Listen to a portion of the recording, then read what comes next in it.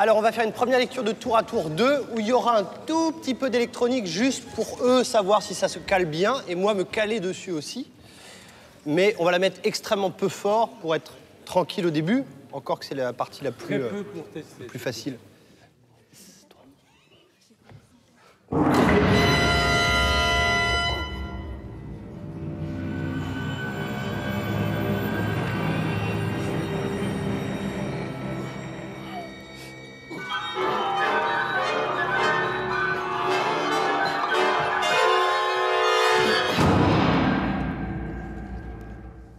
Moi, c'est hyper important que la musique sonne.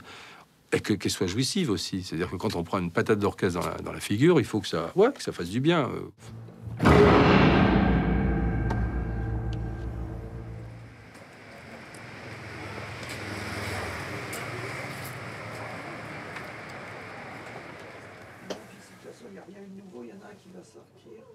Dans Tour à Tour, la forme globale est certainement liée à des auteurs que j'ai lus, comme Thomas Mann, par exemple, il y a longtemps.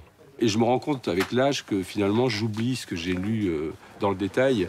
J'oublie souvent, dans les romans, par exemple, j'oublie souvent ce qui, s'est raconté, ce qui s'est dit. Mais par contre, le son reste. Mais ça, c'est peut-être mon défaut de musicien. Quand je parle d'un livre, euh, la première impression que j'ai, je l'ouvre et je me dis est-ce que la langue klaxonne ou c'est klaxonne, le jeu de mots. j'ai pas fait exprès, mais est-ce que la langue sonne? Euh, Il m'arrive dans le couloir à la maison de prendre un bouquin comme ça en passant dans la bibliothèque et puis de lire comme ça en disant waouh ce que ça sonne voilà et puis ça suffit pour remplir une matinée avoir envie de travailler 9 Hz. Donc, c'est combien je t'ai dit 27 Hz c'est combien 30 30, c'est à peu près. Ouais, tu vois, je suis bien tombé. La partition globale qui dure une heure étant un peu conçue comme un, son titre l'indique un peu tour à tour, ça va être tour à tour instrumental, tour à tour électronique, tour à tour euh, rapide, tour à tour euh, très spectralisant, tour à tour très rythmique, tour à tour. euh, voilà. Et il y a une notion de tour à tour aussi qui est l'idée de, de concerto pour orchestre où des groupes interviennent. Et, et on les entend en tant que tels. Ils sont plus noyés dans la fusion, alors que la pièce travaille beaucoup sur la fusion. Hautbois, corps anglais et basson 102, s'il vous plaît. 3, 4 et...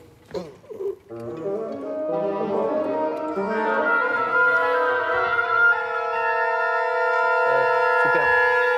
Est-ce que c'est possible d'être un peu plus euh, mordant sur le Té, tin, té, Qu'on entende que chacun s'arrête Les uns après les autres, ouais. Le cycle tour à tour, il est fait de, trois grandes enfin trois grandes parties. Une grande partie, une partie un peu plus courte qui est celle que qu'on est en train de faire à l'IRCAM en ce moment, et la troisième partie encore un peu plus longue. J'ai dit quand j'ai commencé à l'IRCAM, ce sera tout simple, vous inquiétez pas, on n'a pas besoin de beaucoup de temps. Ça fait rire Carlo, parce qu'on était parti sur l'idée qu'on ferait des traitements assez, assez gentils, etc. Mais ça n'existe pas de faire des choses simples. En fait, euh, on se rend compte que dès qu'on est dans le matériau, bah il faut donner du temps au temps et puis que voilà et puis que les choses sont bien plus complexes qu'on croyait. Et ce qu'on est en train de rêver en tant que compositeur à une table euh, en train d'écrire euh, on se dit tiens on va avoir un son qui va faire comme ça. C'est gentil mais une fois qu'on est devant l'ordinateur ça se fait pas comme ça. Je vais, je vais essayer de peux grimper tout là-haut euh, ça peut être des, tu sais la hauteur des piccolos là-haut tu vois le problème qu'on a, c'est qu'il faut pas que ce soit trop agressif par rapport à, la- à ce qu'on a avant. Tu sais, on est encore dans les sons un peu euh, vaporeux, tu sais, euh, des traitements des bois. Et si là, on est trop violent, on va perdre l'effet euh, formellement. Tu vois, on a intérêt à garder un peu, d'en garder sous le pied. On peut dire que toute la conception harmonique de ce cycle, elle est spectrale. J'ai fait ça qu'avec deux objets spectraux. En fait, travailler avec des specs, ça revient à travailler avec des fréquences. Une fréquence, c'est pas un do, c'est pas un ré. C'est, euh, si vous dites 445 Hz, c'est un la un peu haut.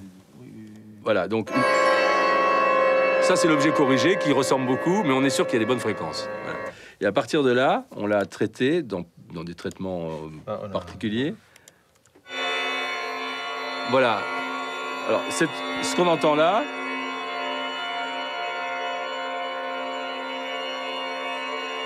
c'est une première couche.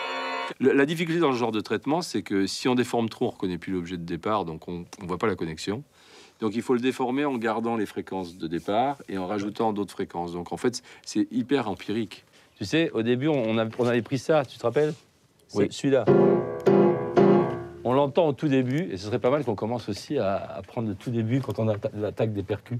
Ça commence avec euh, hum, une image euh, acoustique de Philippe qui, qui est dessinée sur la partition et après il, il me transmet des sons soit euh, avec des mots, soit avec de la bouche. Alors ça, après, tu veux le bouncer, puis tu veux faire un genre de fichier qui va attaquer les, des, des trucs. parce que l'idée, Oui. c'est d'avoir ça qui monte et d'avoir autour. Moi, je propose des traitements et aussi Philippe propose des traitements qui euh, puissent aller dans cette direction de réalisation.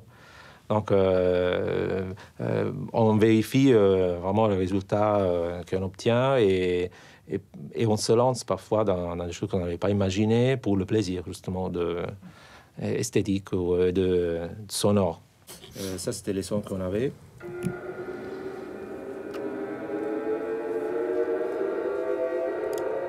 Ouais, qu'on avait déjà granulé, je me rappelle.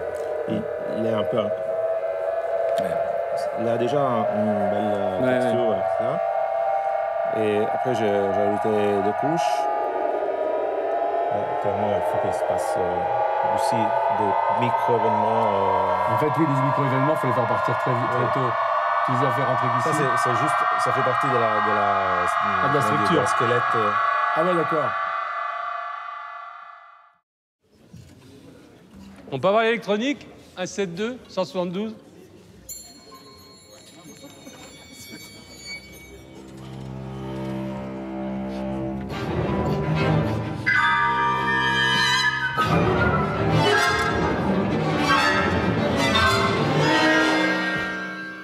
La deuxième partie de, ce grand cycle, appelons ça un grand cycle, ça dure une heure quand même, donc il fallait, euh, il fallait imaginer que la seconde partie était déjà non pas un espace de repos pour les musiciens, parce qu'ils jouent trop par rapport à ce que j'avais prévu au début.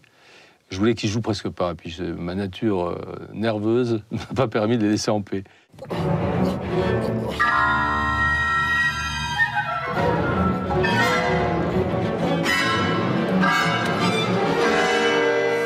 Cette seconde pièce, elle est assez spectralisante dans le sens où elle est plus lente. Et donc, ça donne plus lieu à des textures euh, euh, micro-intervalliques qui se répandent, etc. Et donc, en plus, comme est- j'ai travaillé avec l'électronique, évidemment, à ma table de travail, j'ai pensé aux rapports spectraux. Donc, on, on a une longue partie de 20 minutes, et puis d'un coup, l'électronique hante, bah, on l'entend entrer euh, sur un accord qu'on a déjà entendu, enfin, un gros objet. Et l'espace, en fait, un, un objet assez long et lent pour que l'espace s'ouvre de façon naturelle et identifiable. Et non pas avec des petits gousi-gousi dans les coins. Au bout de 20 minutes, on se dit qu'est-ce que c'est euh, C'est quoi C'est un haut-parleur qui a, problème? Là, je voulais qu'on sente, bon voilà, on passe à autre chose. Quand on écrit une partie qui s'insère au milieu de deux autres déjà écrites, qu'elle soit pas étrangère et vienne pas foutre la panique dans ce que vous aviez prévu au début. Donc qu'elle trouve sa place. Ce qui me fait, en fait, dans ce projet, c'est ce qui me fait le plus peur, moi. C'est comment cette nouvelle partie. Elle serait à la fin, je serais pas très inquiet. J'aurais déjà entendu le début, je me dirais bon, grosso modo, j'en suis. Tandis que là, je connais deux volets, puis au milieu, il faut que je colle quelque chose qui est un corps étranger, mais qui a hérité du 1 et du 3.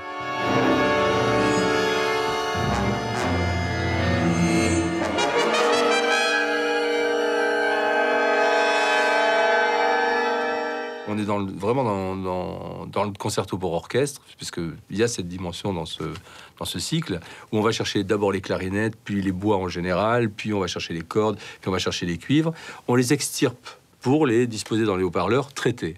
D'ailleurs, à ces traitements, on a rajouté l'image, euh, on, a, on a mixé dedans euh, ce qu'ils sont en train de faire. On l'a fait avec des échantillons, ils sont cachés. On entendra donc ça comme un miroir de ce qu'ils sont en train de faire.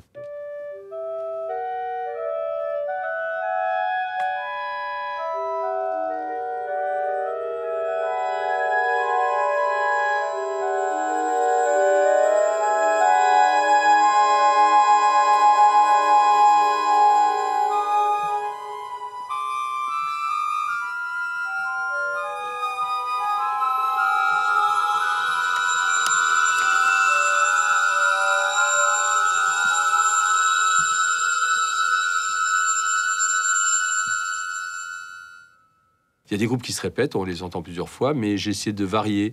Une fois c'est clarinette et flûte, une fois c'est flûte et au bois, une fois c'est tous les, les, les, les hanches, les hanches ensemble, c'est-à-dire basson, au bois, corps anglais qui jouent pour avoir un son un peu nasillard, enfin les cuivres indépendamment, les cordes.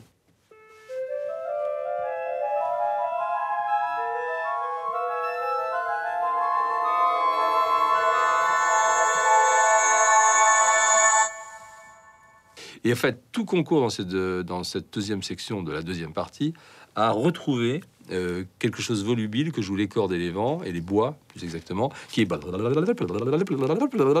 quelque chose qui monte comme ça vers l'aigu. Et donc petit à petit, on y va, on accélère, on, et, et on va se retrouver sur cette situation-là. Et évidemment, cette situation-là, on la connaît déjà.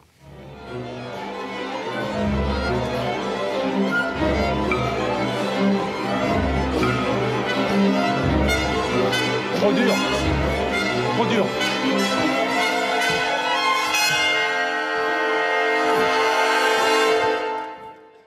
Et puis dans la troisième partie, je me suis dit, en continuant cette idée de, du concerto pour orchestre, et sachant que, en calculant, et j'ai regardé moi le timing de ma, de ma pièce, qu'on se trouvait au centre du cycle.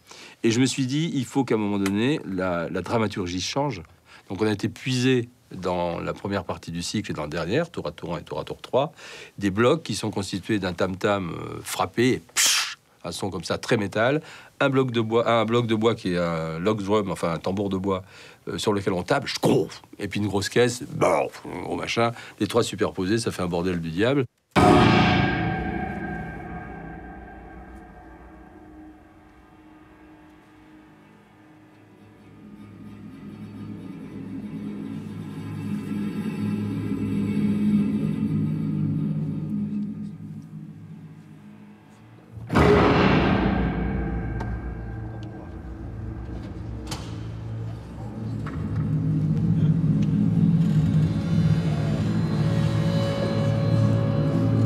Je suis un compositeur qui aime beaucoup aussi le rythme et la pulse, euh, le rythme et la pulse dans la musique contemporaine ont été bannis à une époque parce qu'ils étaient considérés comme un peu un élément vulgaire, un élément un peu populaire de la musique contemporaine. Et ça, moi, je l'ai réintroduit très rapidement parce que je pense que ce sont des catégories absolument stupides. Ça n'a rien à voir avec tout ça. Dire, euh, il faut s'occuper de tous les paramètres. Et ça, c'est un paramètre musical comme un autre.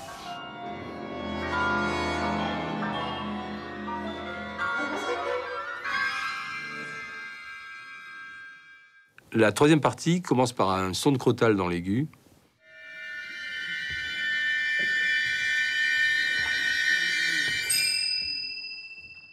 Et l'idée m'est venue que ce centre de la partition va nous conduire à cette crotale lentement pour entamer le troi- troisième volet du cycle. Donc deux instruments de percussion qui sont pas traités finalement dans la partition. C'est pas une pièce percussive.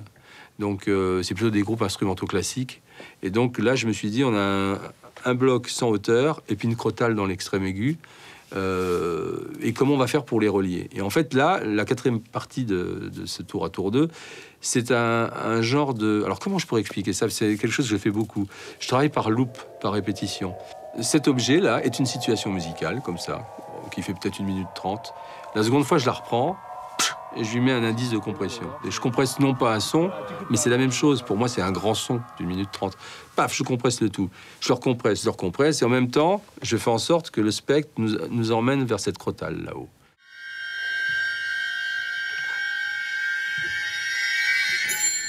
Oui, je me suis calé petit à petit avec les trombones. Alors, je voulais te proposer un Ouais. truc. Ouais, ouais, dis-moi.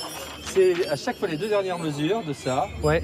Chaque fois qu'on sort de cette section-là, accélérer tu les fais vers 56. Oui, oui, les c'est ça. Les Parce trois que là- dernières mesures. À partir de là, tu accélères à partir de là. D'accord. Les trois C'est dernières. c'est ce que je me disais Les aussi. trois merci. dernières à chaque fois. Il faut prendre en compte cette chose que euh, un percussionniste qui tape sur une crotale là-bas au fond dans l'orchestre, par rapport à une crotale qui taperait dans le studio ici, on serait obligé de faire ça en- au bout de trois coups, on en aurait marre. C'est une petite chose. Donc euh, nous, en faisant l'électronique de proximité, on est obligé tout le temps de réadapter notre écoute. Et là, je pense qu'il y aura un travail de réadaptation à faire pendant les répétitions, parce que trois flûtes d'orchestre, c'est pas trois flûtes devant vous sur une petite scène.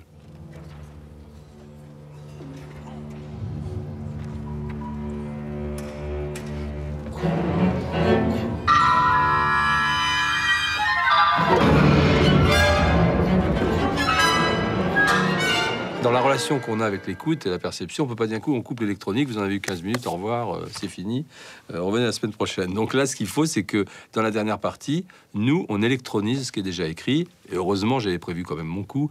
Il y a des longues plages très très lentes qu'on va traiter en temps réel avec des traitements très légers, mais qui vont diffuser l'orchestre tout autour du public, de manière à ce que les gens continuent, enfin le public continue à avoir une perception qui est mixte. Et non pas tout d'un coup couper au bout de 15 minutes, ce serait absurde, franchement absurde. Formellement, ça marcherait pas tout à fait.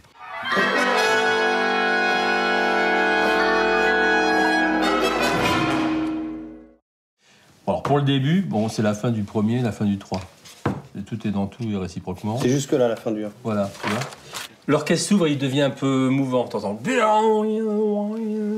autour de toi comme ça. Mais c'est comme si l'orchestre s'ouvre autour des auditeurs. L'idée c'était que j'en avais marre de la façade stéréo, tu vois, de Ouais. l'orchestre. C'est un peu pour ça que j'ai voulu faire de l'électronique. dans- Non, c'est pas le- l'électronique opposé à l'orchestre. Au contraire, On est- on est c'est un peu spectralisant, tu vois. Ouais. En fait, dans cette partie-là. hein. Un vrai challenge, c'est cette multitude contrapuntique de choses qui marchent ensemble, ce nombre de rencontres, et pour autant la taille très imposante de l'orchestre, qui fait qu'entre chaque groupe d'instruments, il y a une distance importante. Donc c'est une chose qui euh, à laquelle moi je suis moins habitué dans sa musique, de voir autant de groupes, autant de- de contrepoints. Évidemment qu'il y a des choses qui sont changées, évidemment qu'il y a des erreurs, mais dans l'ensemble, Philippe est quelqu'un qui anticipe énormément, qui écrit très très précisément. Moi, ce projet, il me porte aussi parce que Jean va diriger la pièce, c'est quand même quelque chose d'énorme. Une collaboration avec quelqu'un très rapide, ça peut être super passionnant, mais une collaboration de plusieurs années avec quelqu'un, c'est là où on s'enrichit euh, énormément. Je vois l'énergie que Jean met dans la direction, c'est un truc qu'on prend pour soi après, qu'on apprend à, intégrer même dans l'écriture. J'écoute beaucoup les chefs d'orchestre en répétition pour écrire mes mesures différemment. Par exemple, il y a des choses, je sais que on va passer à la croche, on va subdiviser, comme on dit, parce ce sera plus efficace. C'est pour ça qu'on apprend tout le temps en, en composant. On on peut pas ne pas regarder les instrumentistes jouer notre musique.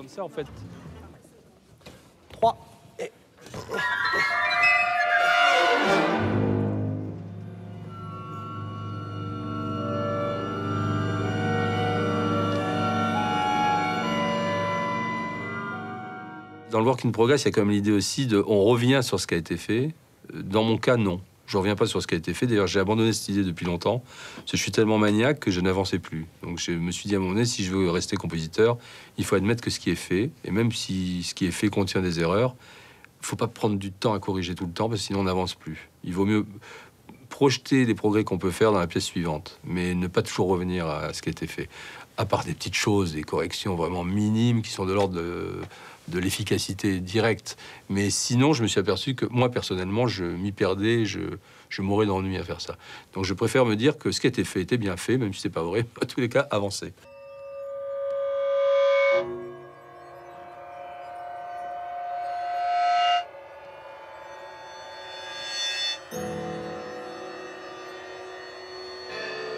Celui-là, on l'a un peu, tu vois, ouais, je trouve qu'il manque un peu de pêche. mais on, va- on verra, c'est pas...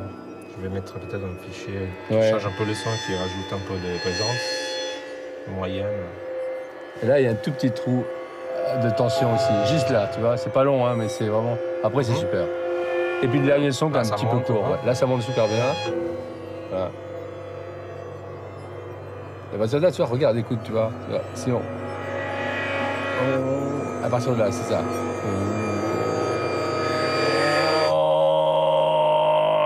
Je t'ai pas fait rallonger assez, en fait, c'est de ma faute. Ça aurait été bien. Parce qu'il faut vraiment que ce soit pénible. C'est la fin de la pièce, il faudrait qu'on ait un, un genre d'angoisse. est- Ouais, on ouais, n'est pas assez angoissé, là. On n'est pas assez stressé. il y a quelque chose à faire. euh, Voilà. Mais sinon, c'est super, ça marche, ça marche bien. Mais il faut que ça se termine ici ou tu Bah non, non, justement. Pendant que tu as les cuivres, ils vont comme ça. comme- tu peux très Mais bien ça peut avoir- continuer Ou- Bah là, ou pour cela, la oui, dès que tu as la place, c'est super, au contraire. Ça se mélanger dans les cuivres, ça donne une texture vachement plus sympathique.